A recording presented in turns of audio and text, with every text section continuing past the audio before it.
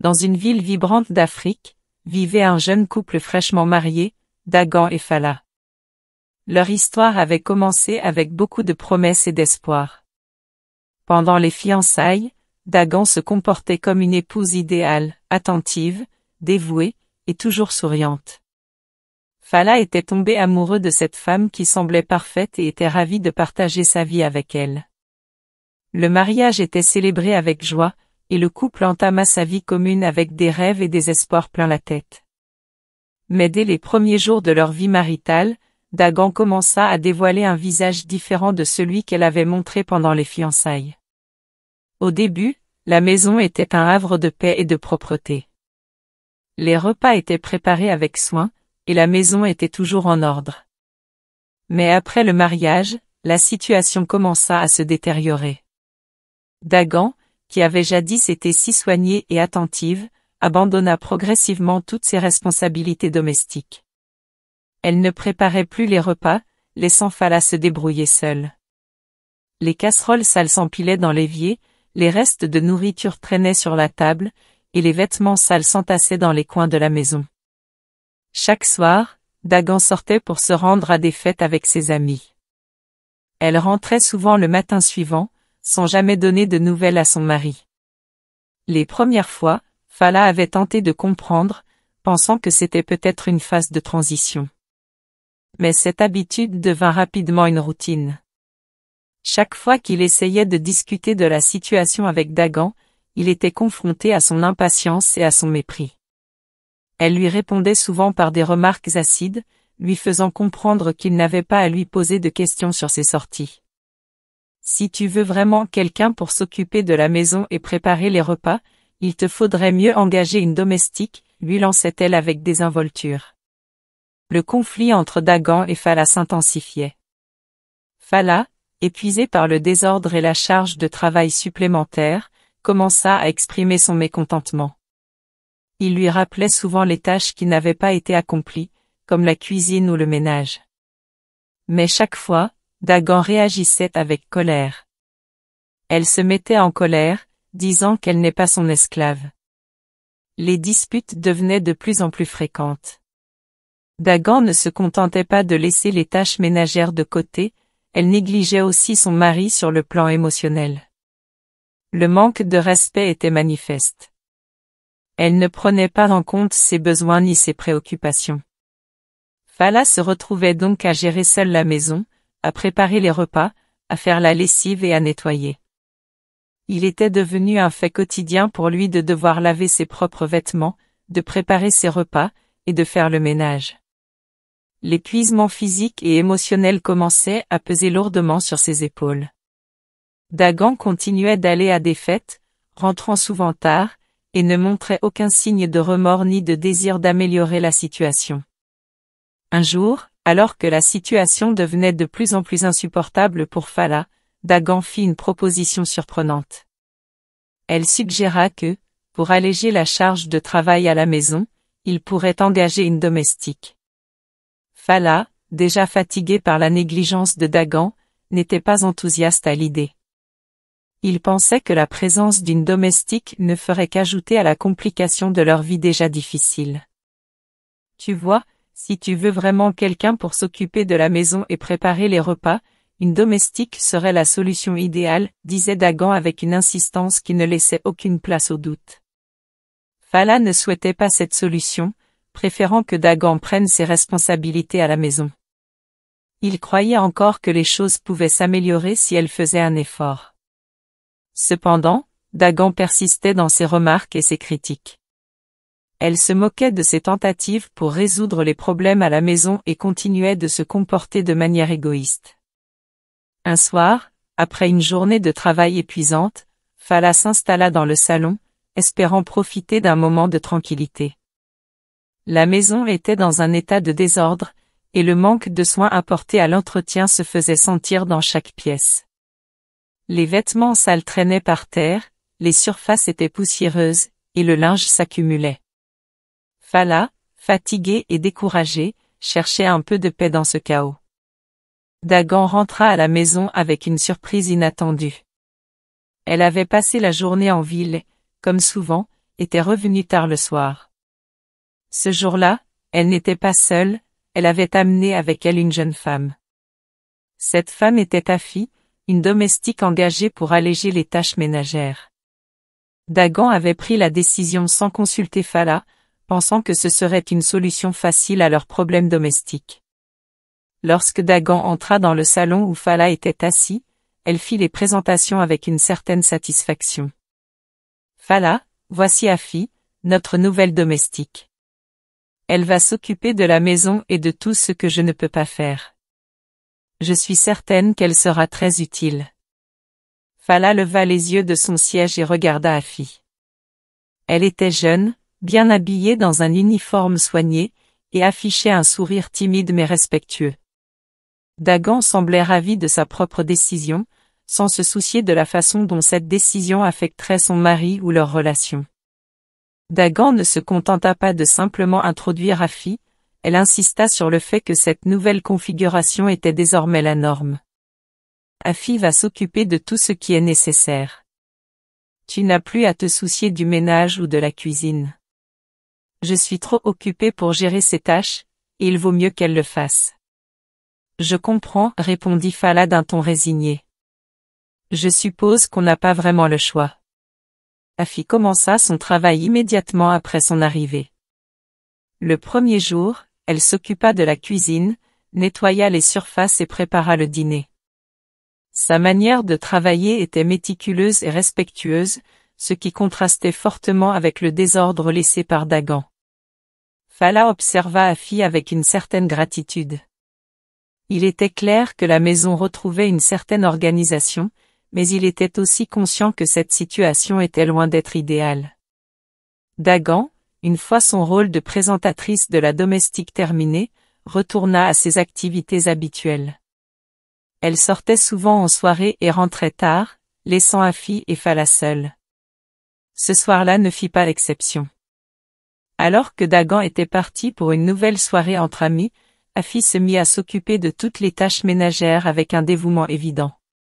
Fala, tout en observant son travail, ne pouvait s'empêcher de ressentir un mélange de soulagement et de malaise. Les jours suivants, la routine avec Afi se stabilisa. Chaque matin, elle préparait un petit déjeuner chaud pour Fala avant de nettoyer la maison. Ces efforts apportèrent un certain confort et une organisation qui faisait cruellement défaut depuis l'arrivée de Dagan. La maison, autrefois en désordre, retrouva peu à peu son éclat sous les soins attentifs d'Afi. Fala commençait à apprécier la présence d'Afi.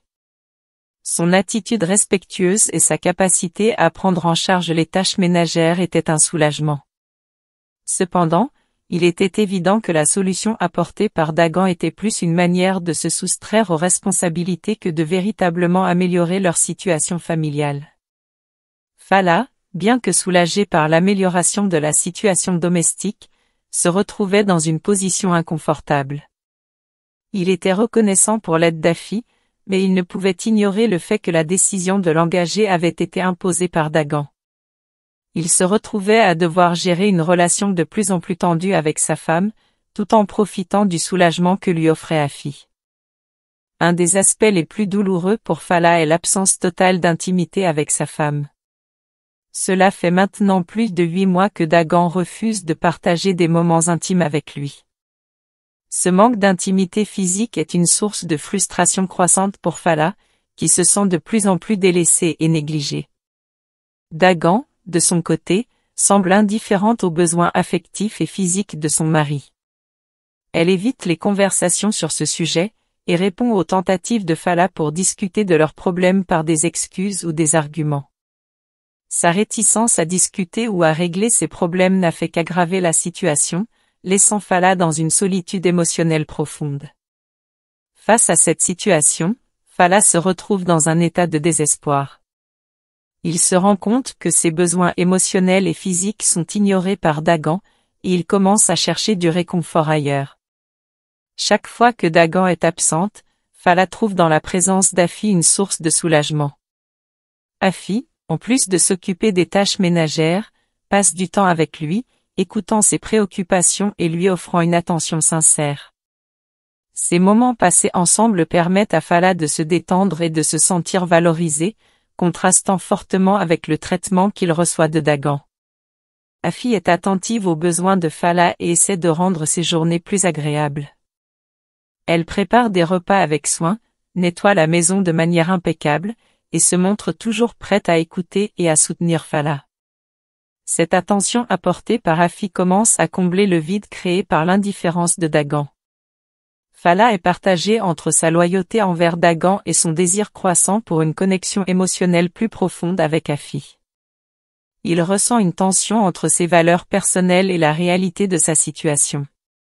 Cette lutte intérieure ne fait qu'ajouter à son stress et à son désespoir, rendant la situation encore plus difficile à gérer. Afi, malgré les circonstances difficiles, reste une source de soutien constant pour Fala. Sa présence apporte une certaine forme de normalité et de stabilité dans une vie autrement perturbée. Fala commence à voir Afi non seulement comme une aide domestique, mais aussi comme une amie et une confidente. Dans la maison de Fala, un après-midi d'été, une atmosphère particulière commence à s'installer. La lumière du soleil filtre à travers les rideaux, créant des jeux d'ombre et de lumière dans le salon où Afi travaille. Lorsque Fala pousse la porte d'entrée, il est accueilli par un calme réconfortant. Les bruits habituels de la rue se taisent, et la maison semble offrir une paix bienvenue après une journée chargée. Ce soir-là, Afi est vêtue d'une tenue soignée et élégante, qui met en valeur sa beauté naturelle. Elle porte une robe légère, adaptée à la chaleur, qui souligne ses traits gracieux. Ses cheveux sont coiffés avec soin, et elle se déplace avec une élégance tranquille. Fala remarque à quel point elle est rayonnante et bien entretenue, et il ne peut s'empêcher de ressentir une admiration croissante pour elle. À mesure qu'Afi se penche pour aider Fala, une tension palpable se développe entre eux. Ses gestes deviennent plus lents, plus délibérés, et elle semble consciente de chaque contact physique. La proximité de leur corps, ainsi que le regard intense de Fala, amplifie le sentiment naissant de désir. Fala, quant à lui, est submergé par un mélange d'émotions qu'il a du mal à comprendre. Son attirance pour Afi devient de plus en plus difficile à ignorer. Lorsqu'Afi finit de retirer les chaussures de Fala, elle se redresse et leurs regards se croisent à nouveau. Cette fois, il y a quelque chose de plus profond dans les yeux de Fala. Une étincelle de désir et de reconnaissance. Il hésite un instant, puis, poussé par une impulsion qu'il ne peut plus contrôler, il se penche vers elle et l'embrasse passionnément. Le baiser est inattendu, mais Afi, bien que surprise, ne se retire pas. Au contraire, elle se laisse emporter par le moment, réciproquant le baiser avec une passion timide. Le contact de leurs lèvres est à la fois doux et fervent, et la chaleur entre eux semble créer une nouvelle réalité. Pour un moment, ils oublient les complications de leur vie et se concentrent uniquement sur l'instant présent. Pour Fala, cette nuit est à la fois un soulagement et un début de quelque chose de nouveau. Il découvre en Afi une partenaire attentive et passionnée, une qualité qu'il n'a pas trouvée dans sa relation avec Dagan. Afi, quant à elle, est consciente que cette nuit représente un tournant important dans sa vie et dans sa relation avec Fala. À partir de ce moment, Fala et Afi développent une relation secrète et passionnée. Chaque fois que Dagan est absente, ils trouvent des occasions de se retrouver, de partager des moments intimes et de renforcer leurs liens. Leur relation devient un espace de réconfort et de passion dans une vie autrement remplie de frustration et de conflits. Le quotidien dans la maison de Fala prend un tournant inattendu après la première nuit qu'il a passée avec Afi. Leur relation évolue progressivement, passant d'une connexion physique à une affection sincère et croissante. Cette partie de leur histoire montre comment la présence d'Afi transforme la vie de Fala, offrant un contraste frappant avec la relation troublée qu'il entretient avec Dagan. Chaque jour, Fala attend avec impatience les moments où il peut retrouver Afi. Lorsque Dagan est absente, que ce soit pour une sortie avec des amis ou pour une nuit en dehors de la maison, Fala voit ces occasions comme des moments précieux pour se retrouver avec Afi. Leur relation devient un refuge, un espace où il trouve le réconfort et le bonheur qu'il ne connaît pas avec sa femme. Lorsque Dagan est absente, Afi prend soin de tout dans la maison avec un dévouement et une efficacité qui impressionnent Fala. Elle prépare des repas délicieux, garde la maison propre et bien entretenue, et veille à ce que Fala soit bien pris en charge. Sa présence crée une atmosphère chaleureuse et accueillante qui est en totale opposition avec le désordre et la négligence que Dagan laisse derrière elle. Au fil des semaines, leur relation évolue d'une simple attraction physique à une connexion plus profonde. Ils commencent à se confier des aspects de leur vie personnelle et partagent des moments intimes qui renforcent leur lien. Leur affection mutuelle grandit, et ils se rendent compte qu'ils ont trouvé en l'autre quelque chose qu'ils recherchaient depuis longtemps. Un jour, Dagan, ayant oublié quelque chose à la maison, décide de revenir en hâte pour le récupérer. Ce qui devait être une simple visite pour chercher un objet se transforme en une découverte inattendue qui bouleversera la dynamique de leur ménage. Dagan entre dans la maison, sans se douter de ce qu'elle va découvrir, et sa réaction face à la scène qu'elle trouvait pleine de choc et de colère. En entrant dans la maison, Dagan entend des bruits provenant de la chambre à coucher. Elle se dirige vers la chambre, pensant que peut-être quelque chose ne va pas. À sa grande surprise, elle trouve Fala et Afi dans le lit, dans une position compromettante. La scène qu'elle découvre est choquante. Dagan est stupéfaite et furieuse en découvrant cette scène. Son cœur bat la chamade, et elle est envahie par un mélange d'émotions, colère, trahison et humiliation. Elle pousse un cri de colère, et ses yeux brillent de rage en se tournant vers Fala et Afi. Comment as-tu osé, Fala? crie-t-elle, la voix tremblante de colère. Comment as-tu pu me tromper de cette manière? Et toi, Afi? Quelle audace de te comporter ainsi Dagan est choqué par la trahison de son mari et par la façon dont Afi, la domestique qu'elle a engagée pour alléger ses tâches ménagères, s'est retrouvée dans une situation aussi intime avec Fala. Elle ne peut croire ce qu'elle voit et se demande comment sa vie a pu prendre une telle tournure. Malgré la colère et la confusion, Fala reste calme face à l'explosion de Dagan. Il comprend que la situation est délicate, et que la confrontation avec Dagan est inévitable. En prenant une profonde inspiration, il se tourne vers elle pour expliquer la situation. Dagan, je sais que tu es en colère, et je comprends pourquoi. Mais laisse-moi t'expliquer. Depuis que tu as commencé à négliger tes devoirs dans notre mariage, je me suis senti de plus en plus isolé et insatisfait. Afi est arrivée dans ma vie comme un rayon de soleil. Elle m'a offert le respect et l'affection que j'avais besoin. Fala explique calmement que ce qu'il recherchait dans leur relation était absent avec Dagan. Il souligne que le manque de soumission, de respect et d'humilité dans leur mariage a conduit à la situation actuelle. Il explique que Afi, par son comportement respectueux et attentionné, a comblé un vide dans sa vie. Fala continue en expliquant que, ce qu'il apprécie chez Afi est le fait qu'elle lui apporte un bonheur sincère, et une connexion émotionnelle qu'il ne trouve pas avec Dagan. Il exprime son besoin d'une relation où il se sent respecté et valorisé, des qualités qu'il a découvertes en Afi. Ce que je recherche dans une femme n'est pas seulement la beauté ou les qualités superficielles. Je cherche quelqu'un qui me respecte, qui m'écoute et qui est prête à être une véritable partenaire. Afi a su m'offrir cela, alors que je me sentais de plus en plus abandonnée dans notre mariage. Fala fait comprendre à Dagan que la relation avec Afi est devenue une source de réconfort et de bonheur dans sa vie, alors que leur mariage était devenu source de frustration. Il exprime que cette situation est le résultat de leur relation défaillante et de ses propres besoins émotionnels non satisfaits. Dagan, malgré sa colère, commence à réaliser qu'il y a peut-être une part de vérité dans ce que Fala dit. Elle comprend que leur mariage a été marqué par des conflits et des problèmes de communication. Cependant, cela ne diminue pas la douleur de la trahison qu'elle ressent. Les mots de Fala laissent Dagan avec un sentiment d'humiliation et de tristesse. Elle se rend compte que la situation est plus complexe qu'elle ne le pensait, mais la douleur de la trahison reste vive. Dagan est désemparé par la révélation que Fala a trouvé ce qu'il cherchait ailleurs, dans une personne qu'elle avait elle-même engagée. Dagan est consciente qu'elle doit faire face à la réalité de la situation et prendre des mesures pour se reconstruire. Elle se demande si elle peut réparer son mariage avec Fala ou si elle doit aller de l'avant, en laissant derrière elle une relation qui lui a causé tant de douleur. Le lendemain matin, Fala se réveille avec une détermination nouvelle. Il sait que sa décision est inévitable. Après la nuit de révélation, il ne peut plus continuer dans un mariage où il se sent constamment négligé et mal aimé.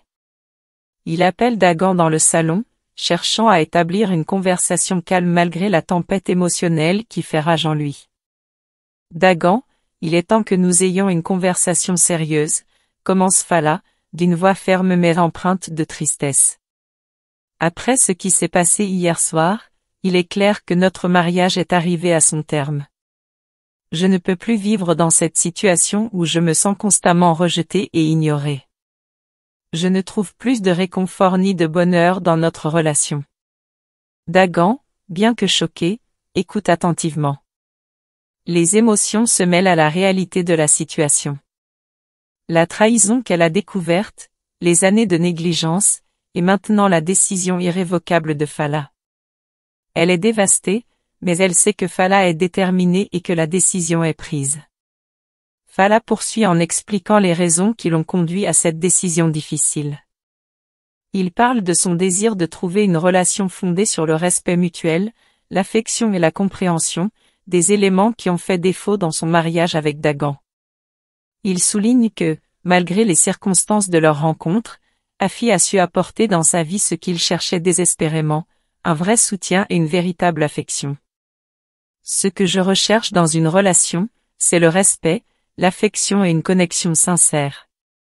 Afi m'a apporté cela d'une manière que je n'ai pas trouvée avec toi depuis longtemps. Je comprends que cela puisse paraître brutal, mais je ne peux pas ignorer ce que je ressens. Le respect et l'amour sont essentiels pour moi, et c'est ce que je trouve avec Afi. Dagan, malgré la douleur, comprend que les mots de Fala portent une part de vérité.